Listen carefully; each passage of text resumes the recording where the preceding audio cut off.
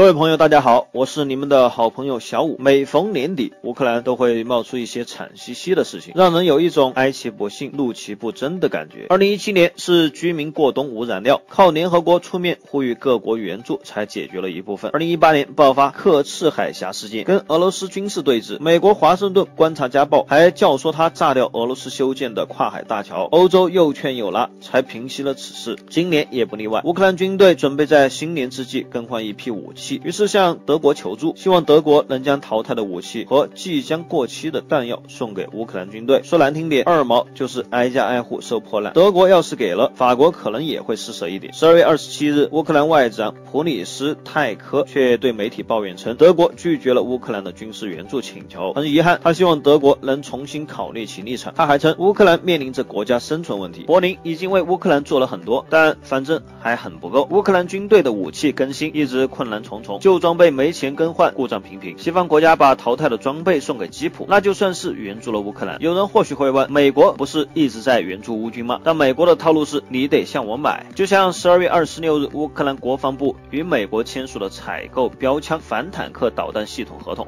乌克兰需要支付四千四百万美元，而这钱就是从美国军事援助款中列支。美国为什么要搞得这么复杂？原因很多，比如国内法律限制，还要向俄罗斯表明这是乌克兰自主采采购的武器，不是美国直接送的。同时告诉乌克兰，武器一定要付钱买的，援助款给你是因为你没钱，等你有钱了就用自己的钱来买。韩国、中国台湾都是这个套路。其他轻型武器装备，乌克兰就靠欧盟捐赠。一个曾经能制造航母的国家，居然连轻武器都无法生产，鬼知道他经历了什么。乌克兰不是没有能力生产武器，而是工厂开不了工，开不了工就发不出工资，政府没钱，没钱就无法向军工企业下单，没有订单，企业就没有收入。美国援助款又只能向美国军工企业下单，破烂前两年还能收收，现在德俄正处于共建北溪二关键时期，犯不上为此破坏德俄关系。在这种政治背景下，德国连破烂都不会给乌克兰，哭求没用，抱怨也没用。你凭什么要求德国重新考虑立场？你能把德国怎么样？二毛觉得民主事业理应得到支持，民主。多少钱一斤？能当饭吃，能当天然气用？走火入魔的乌克兰碰到现实主义的德意志，于是民主也就变得跟破烂一样不值钱。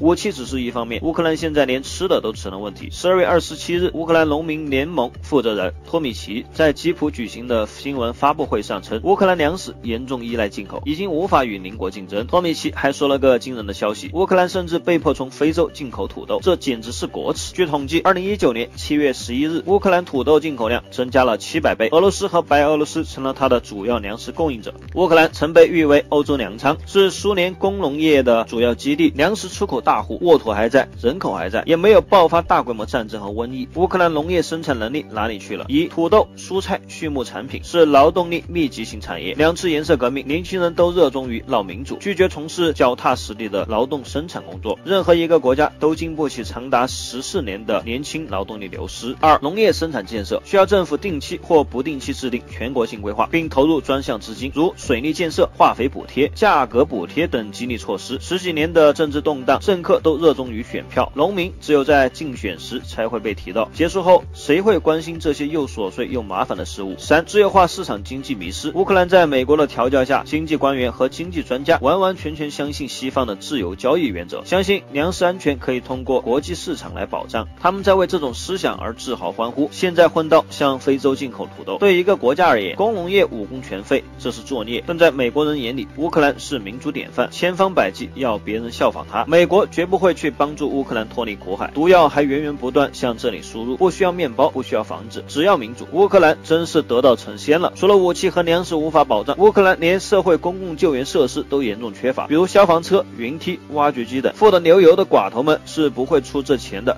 波罗申科年年赚几亿美元，但他宁可花几百万美元庆祝生日，也不会把这些钱拿去买救灾设备。政府又没钱开支，怎么办？中国本月向乌克兰救援部门移交了五十二台设备，总价超过一千三百五十万美元。十二月二十六日，乌克兰内政部长阿瓦科夫发文感谢：“我想对中国领导人和大使表示感谢。中方以九千五百万元价格提供了五十二台设备，所有中国设备都将用于救援部门。中国移交的设备包括消防升降机。”云梯汽车起重机、履带推土机和平地机等，帮乌克兰解决了燃眉之急。二零一六年，中国援助过一批救援设备，这是第二批。中国低调的不能再低调，但美国那双贼眼一直盯着。翻翻蓬佩奥、希拉里们这些年对中国援助非洲的诋毁，就可以知道他们的逻辑：援助就是拉拢，拉拢就是挖墙脚，挖墙脚就是有所图，有所图就是想控制。中国与美国对乌援助有什么区别？中国是改善民生，美国是政治操纵。基于中国能从乌克兰得到什么，美国爱怎么想怎么想。蓬佩奥气死活该。国内某些狗狗永远是一句话：中国又撒钱了，西部人民还在吃草。要是这样，美国应该开心还来不及。乌克兰国际处境，美国要他命，欧洲看不起，俄罗斯闹翻，还有谁能真心帮他？乌克兰却有一个梦：加入欧盟，加入北约，并写入了宪法。二零零五年三月，美国扶持的总统尤先科曾保证，乌克兰在二零一六年前一定会成为欧盟成员国。德国和法国称这是不成熟的想法，但方向值得鼓励，于是给了乌克兰五亿欧元民主学费。二零零八年，乌克兰成为 WTO 成员，却发现，在欧洲没有市场，只能卖卖樱桃等农产品。二零一一年四月，欧盟主席巴罗佐访问基辅，向乌克兰人泼下一盆当头冷水。欧盟要求乌克兰先解决 IMF 债务，再谈入欧，而乌克兰一直认为入欧之后才能还清债务。在引以为豪的军工产业方面。